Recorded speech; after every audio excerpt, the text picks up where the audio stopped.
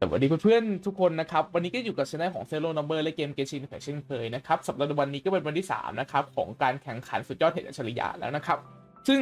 วันนี้จะเป็นยังไงจะต้องทำอะไรบ้างนะครับ แล้วมีอะไรอัปเดตเข้ามาใหม่บ้าง เดี๋ยวไปดูกันเลย ก่อนจะเข้าสู่เนื้อหานะฮะ ก็ฝากเพื่อนๆกดไลค์กดแชร์นะฮะกด subscribe ช่องนี้ไว้ด้วยนะครับ เพื่อเป็นกำลังใจให้ทำคลิปต่อไปนะฮะสำหรับในส่วนของเนื้อหาในวันนี้นะครับ ตรงส่วนของเกมเนี่ยก็จะมีให้เราทำ quest เช่นเดิมนะครับ ซึ่งผมก็จะทิ้งตรงส่วนของไอตัวเนื้อเรื่องครับไว้อีกวิดีโอหนึ่งนะ ถ้าใครสนใจก็สามารถไปดูได้นะครับ แล้ววันนี้เนี่ยครับในแง่ของ gameplay นะครับก็จะมีให้เราเข้าไปจับเห็ดสองตัวใหม่นะฮะจะเป็นส่วนของ Pyro กับ Anemo นะฮะตัวใหม่ ซึ่งไอตัวส่วนของเห็ดเนี่ย part ของ Pyro อะครับสิ่งที่มันแตกต่างจากเดิมก็คือเขาจะมาในสายของ defensive นะครับแล้วมี skill นะครับเมื่อกดใช้นะครับ จะทำให้ตัวเองเนี่ยครับสร้างไฟขึ้นมารอบตัวนะฮะเป็นวงไฟขึ้นค่อนข้างกว้างนะ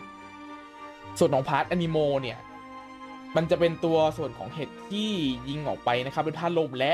เมื่อเรากดใช้ skill นะครับจะทำการดูดนะครับคล้ายๆตัว skill ของพวก Sucrose พวกอะไรครับแต่ว่าระยะเวลาค่อนข้างจะนานนะแล้วก็ดูดค่อนข้างจะหนักอยู่พอสมควรนะฮะคือถ้าตัวเล็กๆมาฮะดูสบายฮะก็ค่อนข้างใช้ดีครับ และเหมือนเดิมนะครับผมก็จะทิ้งวิธีการแก้พัซเซิลนะครับในการอ้าภูเขาเข้าไว้ให้นะฮะ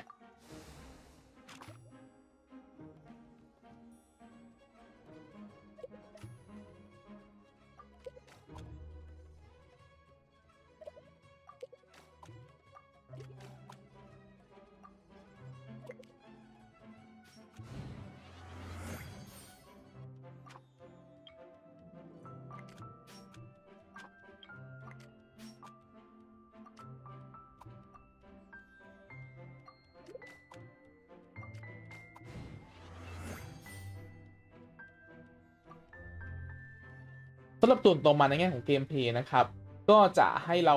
ทำการแข่งขันนะครับจำนวนด้วยกัน2แมตช์นะฮะซึ่งก็สบายๆนะครับ แล้วก็นอกจากนั้นนะครับด่านที่ปลดล็อกนะครับ ก็เหมือนเดิมนะฮะก็จะเป็นตรงส่วนของด่านโจมตี 1 ด่าน แล้วก็ด่านป้องกัน 1 ด่านนะครับโดยสำหรับด่านโจมตีเนี่ยคำแนะนำของผมนะครับ คือให้ทำการเลือกเห็ดนะครับ ยืนพื้นอะแน่นอนตัวฮิวใช่ไหมครับ อันที่สองนะครับ เอ่อใส่เป็นตัว Anemo กับ Pyro ตัวใหม่นะฮะย้ำว่าตัวใหม่นะครับ แล้วก็ที่เหลืออีกอันหนึงนะครับ จะเป็น free slot แต่ว่าคำแนะนำผมก็ยังแนะนำเป็นตัวเห็ดตาลนะ สาเหตุคือมันโจมตีหนักมากฮะเป็นเดอะแบกใช้ได้ฮะส่วนของ part โจมตีเนี่ยตัวศัตรูอะครับหลักๆที่เราจะมีปัญหากับมันนะฮะก็คือตัว slime ที่มีเกราะเนาะรอบนี้จะมีตัวน้ำแข็งเข้ามาด้วยนะครับแล้วก็มี slime หลากหลายธาตุเข้ามานะครับก็ใช้ Anemo ให้เป็นประโยชน์นะ แล้วก็จะเจอ Hilichurl นะครับ ที่เป็นตัวใหญ่นะฮะ แต่ว่าไม่ใช่แบบใหญ่สุดนะตัวนี้จะเป็นแบบตัวถือโล่นะฮะที่เราจะเจอแบบตาม map นะครับ ซึ่งพอผมลองเข้าไปนะครับ จะเจอเป็นแบบโล่น้ำแข็งนะ ก็เอาจัดการเห็ดไฟนะฮะ เห็ดไฟหรือเห็ดตัวส่วนของเห็ดสตานะฮะ เอาน้องนะฮะทำการทุบเกราะใส่เข้าไปนะครับ ส่วน part ของป้องกันเนี่ยครับคือด้วยความที่มันมี Specter ครับเขาระเบิดตัวเองได้ครับ ก็อยากจะให้เอา Anemo ครับเล็งๆออกมานิดนึงครับ แล้วก็จัดการรวบออกไปหน่อยนะก็จะช่วยได้นะครับ แล้วก็อาจจะเอาเห็ดตัวสีน้ำตาลนะฮะกระโดดทุบใส่ครับ ส่วนตัวมอนอีกอันหนึงนะครับ ที่เป็นเกราะก็จะเป็น slime นะฮะธาตุน้ำแข็งนะครับ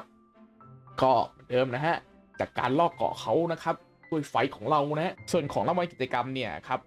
ตรงส่วนของ part การจัดกลุ่มนะฮะจะได้รวมกัน 60 นะครับแบบนี้นะ part การพัฒนานะฮะ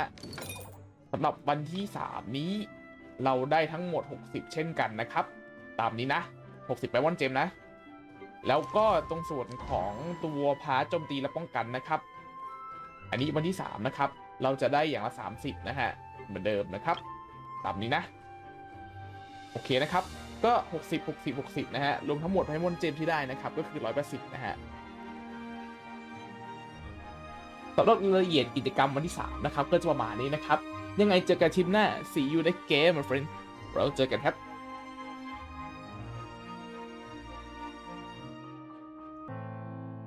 ชอบคลิปนี้อย่าลืมกดไลค์ กดแชร์ กด subscribe และอย่าลืมกดกระดิ่งแจ้งเตือนเพื่อไม่พลาดคลิปดีกันล่ะ แล้วเจอกันใหม่คลิปหน้า see you next game my friend เจอกันครับ